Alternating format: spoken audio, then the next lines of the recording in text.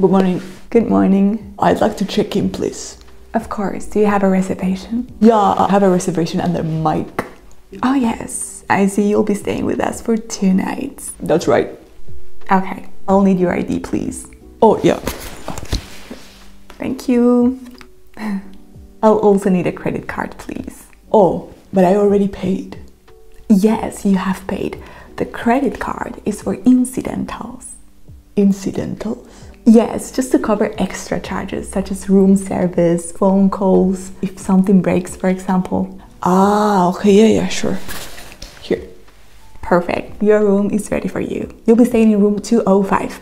Here's your key card. Okay. Oh, and your ID and credit card. Thank you. Um, your name is?